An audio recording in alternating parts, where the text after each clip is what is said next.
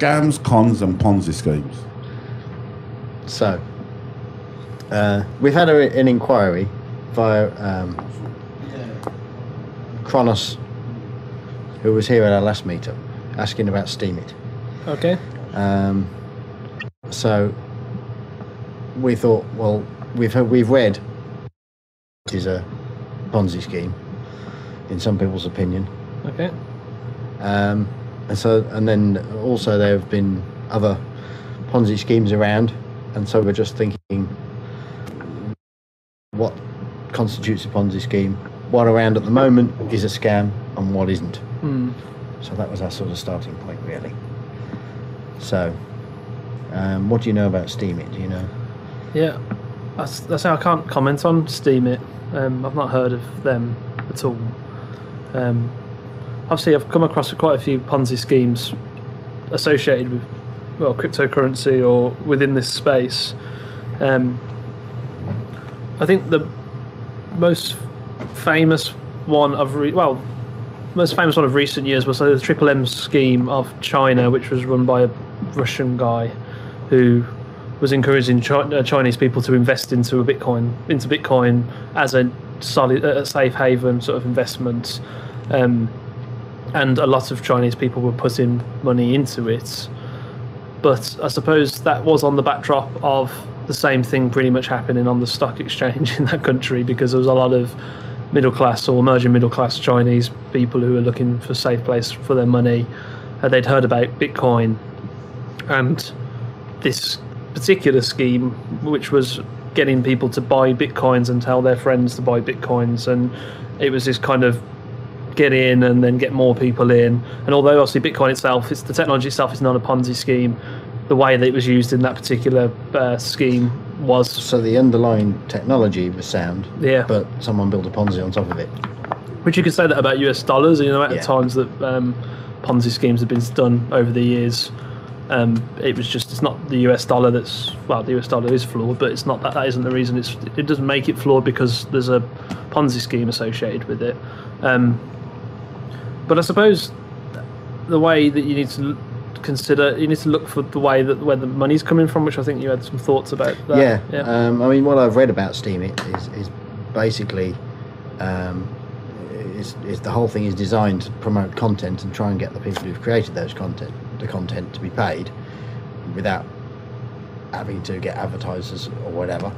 Um, but the way the platform works seems to be extremely heavily weighted in the favour of early investors. Mhm. Um, so, um, uh, if you look up uh, Tone Vays, um, he's done a, a total uh, step by step of the white paper Hmm. and taken it to bits. Um, and he seems to suggest from what he's saying, I mean, he's, he's done the hard work of reading it all and understanding it, um, which by all accounts isn't very easy. Um, but he seems to think there's sort of uh, about 86 people at the top of the tree who will benefit greatly. Uh, and then the further down you are, the less you'll get. Um, and it just depends on how much traction your uh, content gets as to how well you get re- rewarded. Hmm. But for every piece of content that is created, the creator gets one token, and another nine tokens are also created for people who've upvoted that. Um, Can, can, uh, again, I've not been on it. Could you just create crap? Like, could you just put yes, anything on it? Yeah, yeah, just- you could do. it. I mean, it's basically it's, it's, it seems to be what I've seen on there is a bit like Medium, um, Mm. which is a, a sort of I think is a bit of a long form Twitter side, Mm. isn't it? Um, um, so yeah, it's basically most of it is written articles. Some there's some video stuff, some YouTube videos I've seen. Um, I don't know what else people may, or, or I don't know what's theoretically possible to put on the platform, but that seems to be what it is. And I mean, some people have basically written a point that says why Steemit is a Ponzi scheme, and then put it on Steemit, and it's done quite well and made them some money, which is a bit meta. it's a bit. Uh, uh, so it's. Um, uh, but yes, I mean, Steemit itself, from what I understand, uses three different tokens, and you'll initially get um, Steem, which, uh, but that's designed to depreciate extremely quickly. I think it's about thirty percent a day off the top of my head. Hmm. and then you convert that to Steem Power, uh, which you can can't get out of the system very quickly. If you wanted to clear all your Steem Power out, it takes two years, and uh, then you'd convert it to Steem Dollars, which are pegged to the dollar, uh, which you can then trade. So that's seems to be how it works, but it all sounds a bit complicated.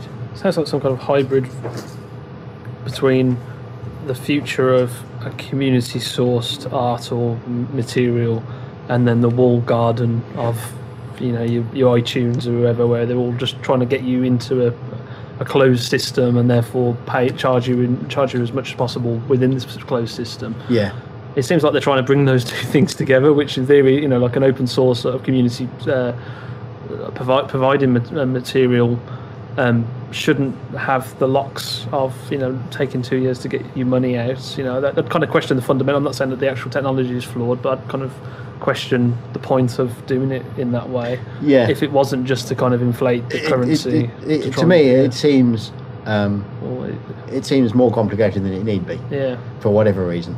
Um, and I'm not an expert enough to know exactly what that reason is. Mhm. Um, uh, so, but I mean, people have questioned all sorts of things as as scams. Um, even people saying that Ethereum's a scam. Hmm. You had some thoughts on Ethereum.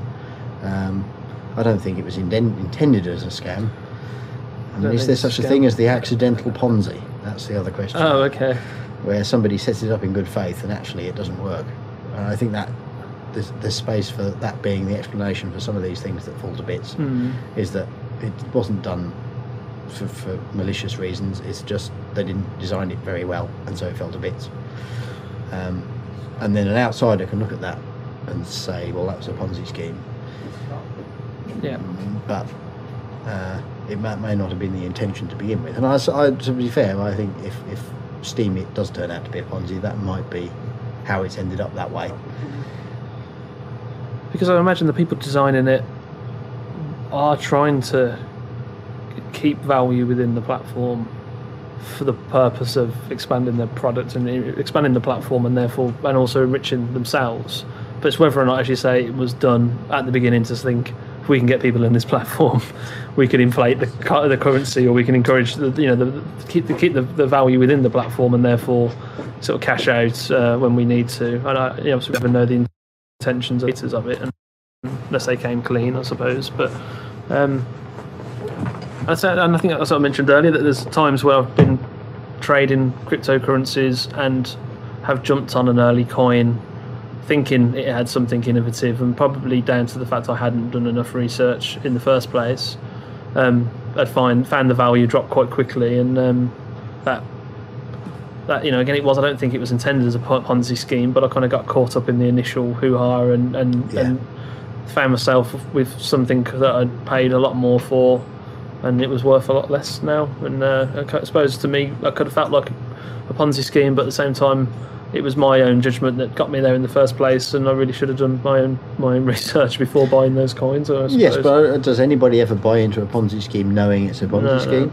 So, i- i- you know, uh, and that brings you back to: do the people who are running it understand it enough and realise whether or not what It's a they've made Ponzi is a Ponzi scheme or Yeah. not? Um, I mean, there's an argument that large sectors of the economy are just giant Ponzi schemes, Mm. um, but they haven't fallen over yet. So, True. but what'll happen? You know, what- one there will come a day when everything, when things stop happening and stop working, and what happens then? Yeah. So, I think what's quite interesting about Ponzi schemes or at least scams within cryptocurrency space is that in theory cryptocurrency and the blockchain technology behind it could reduce a lot of fraud and could reduce a lot of scams within the real world.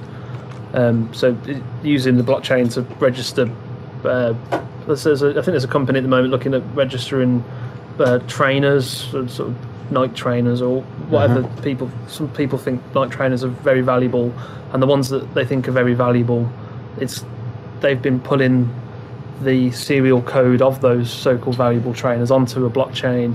So at least when they come to sell those valuable trainers at a later stage, they can say that those trainers aren't uh, replicas or they're not fakes or whatever it may Yeah. be. Um, and again, I think that's a really interesting point. Is that yes, you can be stung by scams, Ponzi schemes, or whatever it may be within a cryptocurrency space when the actual underlying cryptocurrency isn't actually trying to scam you. But in theory, the technology itself could do a do away with a lot of the uh, a lot of fraud. Um, yes, once it's got enough, it's been well enough established, and but like anything new, as soon as it gets some value, people are going to be looking for the holes in it, looking for how they can hack it, how they can get the value out of it Yeah. legitimately. So these things have got to exist in the first place and be hacked before people understand where all the weaknesses are, uh, and then you're to, to design them without those weaknesses, I suppose. Um, so. Um, but yeah, as you were saying, I mean, what you were just saying there brings you back to the, what you were saying about the Chinese Triple M. Mm. You know, that's built on Bitcoin, which is a perfectly legitimate currency, Yeah. but it had a Ponzi built on top of it. Yeah. Um, Just trying to think if I can come up with any Ponzi schemes. I know, now. that's it. no, I don't know. uh,